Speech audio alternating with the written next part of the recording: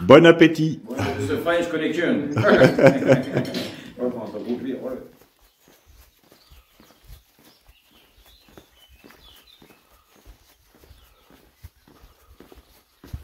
C'est parti pour 24 km jusqu'à El Acebo. Je suis euh, au milieu des montagnes galiciennes. Il devrait faire euh, beau aujourd'hui. Il fait quand même un petit peu frisquer le matin.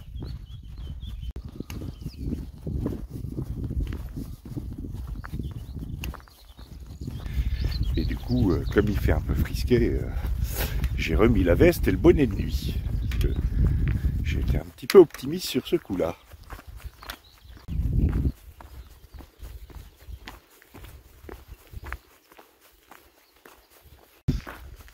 Sinon, on a passé une très bonne soirée hier soir avec euh, les deux vikings et l'allemand. C'était bien sympa. Et euh, j'ai bien dormi cette nuit. Il était bien ce petit grenier.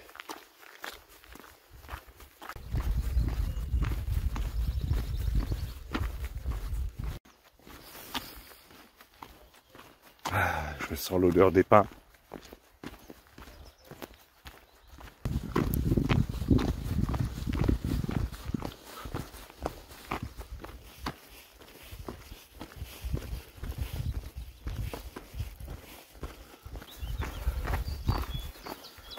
Ah ben voilà enfin un petit sentier sympa. Ça va changer euh, des sections le long des routes.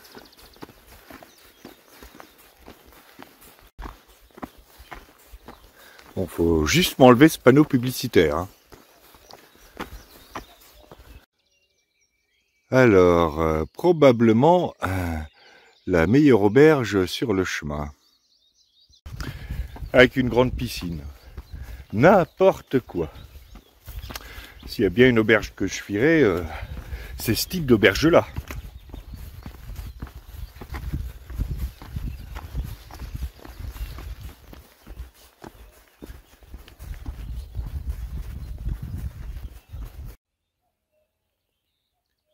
Asphodélus albus.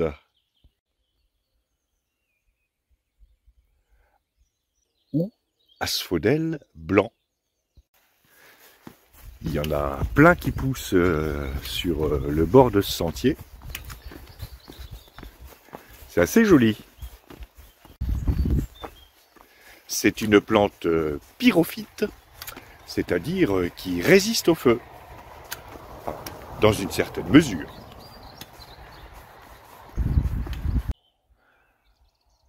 Je les aime bien, ces asphodèles.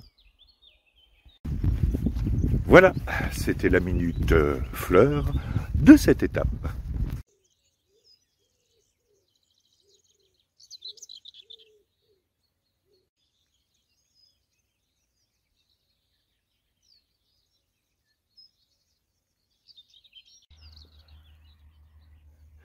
Ce que vous voyez ici, ce ne sont pas des genêts, même si quelquefois on les appelle genêts précoces. Ce sont des Cytisus multiflorus ou Cytis blanc. C'est euh, une plante euh, très commune, voire même euh, invasive, dans le nord-ouest de l'Espagne et le nord du Portugal. C'est joli. Du coup, si Geoffroy V d'Anjou avait chassé ici, au lieu de chasser dans le Maine et d'Anjou, où il y a des eh ben, il serait tombé dans ces plantes. Et du coup, euh, la dynastie anglaise s'appellerait euh, Plantacities. Plantagenet, c'est mieux quand même.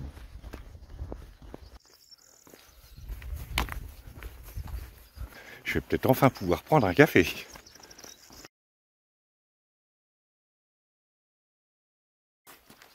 Bien, après cette pause euh, second petit déjeuner, il est temps de repartir. Euh, J'ai un problème avec le téléphone, c'est que la carte SD euh, n'est plus détectée par le téléphone. Du coup, j'ai quasiment plus de place. Donc, euh, je verrai ça demain, la journée de repos à Ponteferrada. En attendant, aujourd'hui et demain, bah, je vais pas faire beaucoup de vidéos. c'est quand même pénible ces histoires de technologie. Et j'espère que les données sur la carte SD n'ont pas été effacées parce qu'il y a toutes mes photos et mes vidéos depuis le début de ce périple dessus. Voilà, et eh bien rendez-vous pour quelques petites vidéos et j'essaierai d'alimenter le vlog comme ça.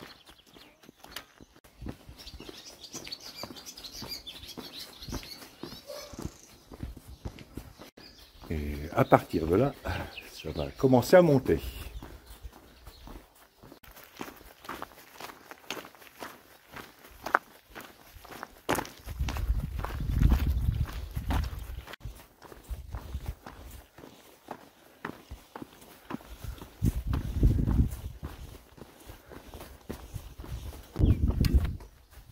Là, j'apprécie vraiment.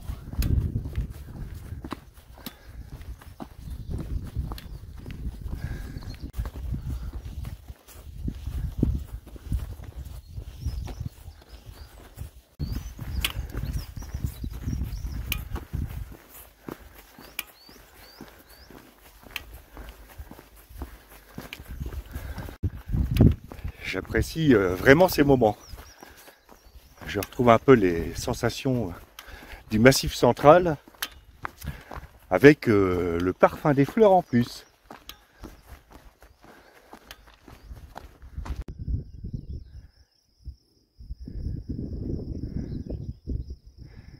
Il n'y a pas à dire, euh, ça a un air de, de margeride.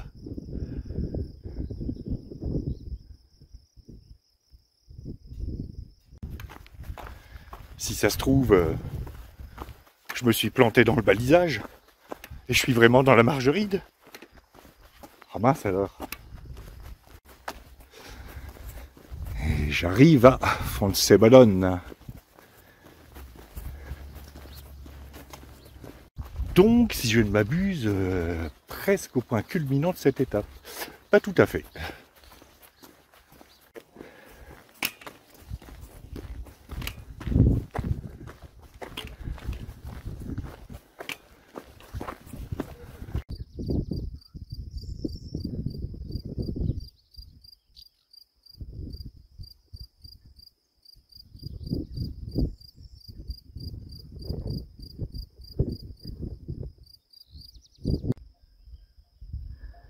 Dire que j'ai traversé tout ça.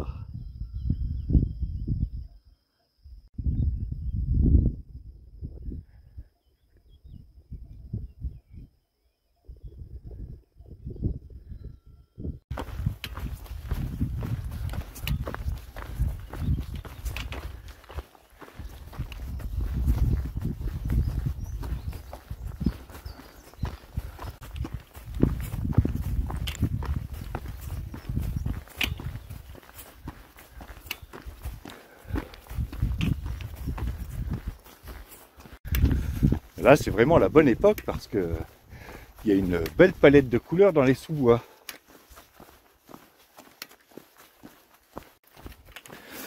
Alors là, je vais arriver à un repère euh, particulièrement important pour les pèlerins. C'est la Cruz des Fierro. Alors, euh, Fierro, c'est en dialecte léonais, mais euh, c'est comme hierro en espagnol, fer. Donc, la croix de fer. En fait, c'est une croix au sommet d'un poteau euh, de bois euh, d'à peu près 5 mètres de haut. Et euh, selon la tradition, chaque pèlerin dépose une pierre qu'il a amenée dans son sac. Et cette pierre symbolise le poids de ses péchés. je ne sais pas si j'ai amené de pierre.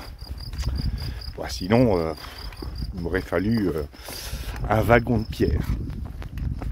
Outre cette signification symbolique, bah, cette course des Fierro, ça symbolise aussi l'entrée dans euh, ce que j'appellerais la dernière partie du chemin vers Compostelle, en tout cas pour ceux qui euh, suivent le Camino Frances depuis la France.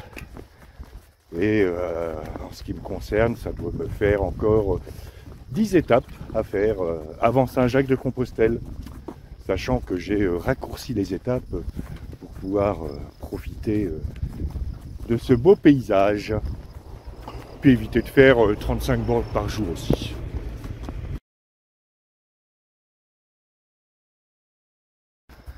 Voilà la Cruz de Fierro.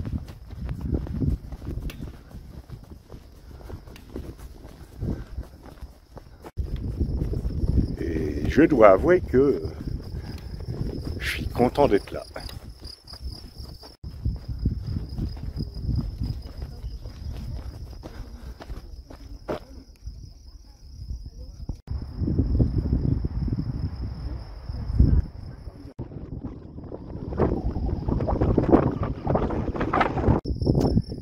Pour nous récompenser de nos efforts, chocolat.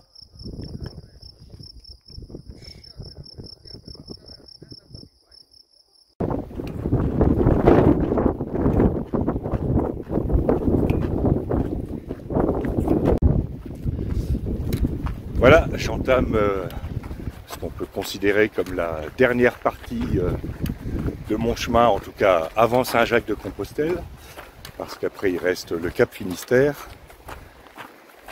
dans le vent euh, qui s'est bien levé.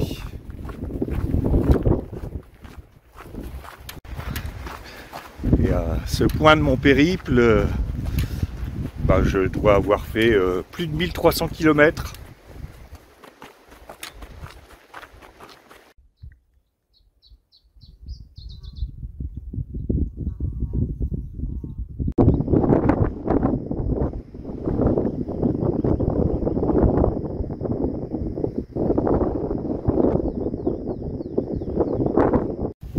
J'arrive à Manjarin.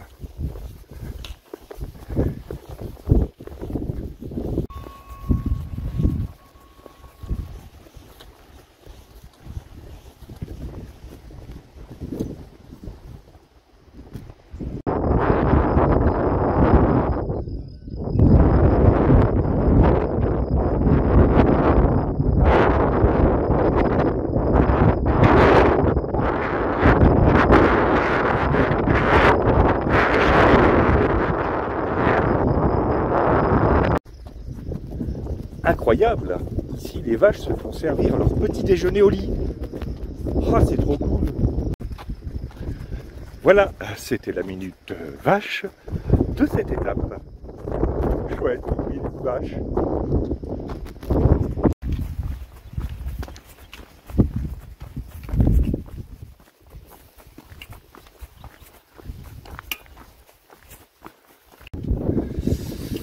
Pour moi, la seule chose qui gâche euh, ce paysage de nuances euh, de vert, de marron et de violet, euh, eh ben, c'est la rangée d'éoliennes qui est sur la crête là-bas. Et là, j'ai atteint le point culminant de cette étape. Et je vais descendre vers El Acebo. Et là-bas en bas, eh ben, c'est Ponferrada, où je ferai euh, une journée de repos euh, demain et après-demain.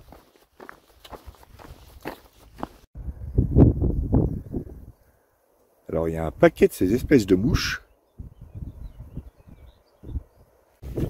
mais elles viennent pas sur moi. En tout cas, euh, pas volontairement. C'est vrai que je dois sentir moins bon que les fleurs.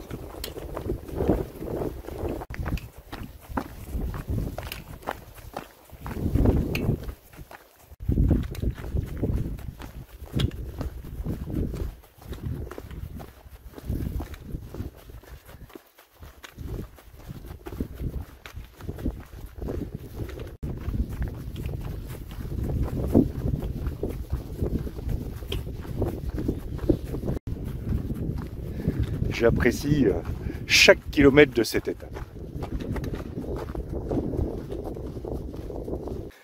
Voilà, j'arrive en vue de El Acebo, la désert de station de sport d'hiver. Et ceci au terme d'une descente euh, raide et assez longue, que j'ai pas fini d'ailleurs. euh, donc je vais rester prudent.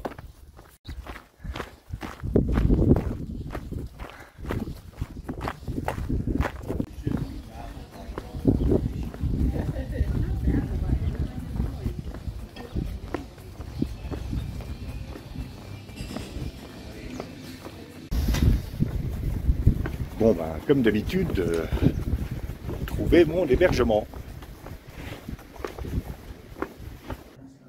Qui est ici? Alors, je vais choisir mon lit de façon stratégique en bas et près de la prise. Voilà, fin de cette étape de 24 km euh, dont j'ai apprécié euh, chaque kilomètre. C'est bien de sortir de la meseta et se retrouver dans de tels paysages. Bon, l'histoire de la guerre d'indépendance espagnole, on verra ça pas demain, peut-être après Ponteferrada, parce qu'il faut que je règle cette histoire de carte SD non reconnue. En attendant, je vais aller manger un petit morceau, et puis après, j'irai à ma routine euh, habituelle, douche, euh, lessive, etc., etc. À demain pour de nouvelles aventures.